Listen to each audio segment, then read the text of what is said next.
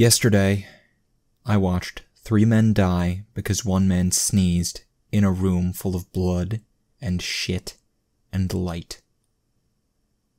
Today, three more men go in, sheep mops, and each other's lives in their hands.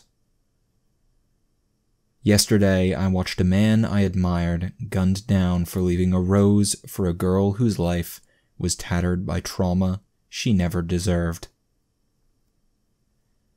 Today, she doesn't remember, and three halls down, I can hear her screaming.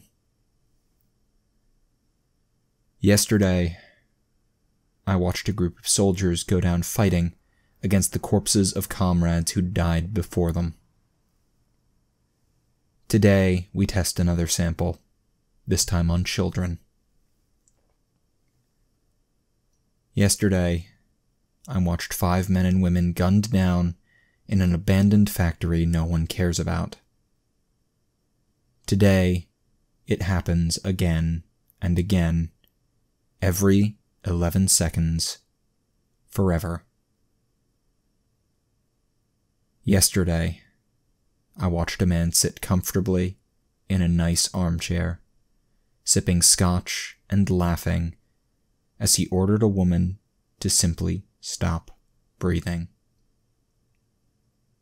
Today, he gets the day off of work detail for good behavior. Yesterday, I watched hundreds of men and women in orange jumpsuits herded like animals into empty rooms that filled with gas and fire. Today, hundreds more are told they have a chance for a lighter sentence and a chance to serve their country. Yesterday, I watched the world nearly die in a thousand thousand terrible ways. Sometimes, we would have had time to scream.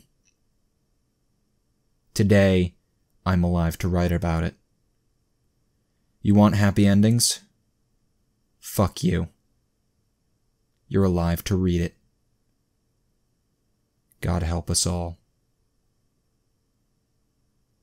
Secure, contain, protect.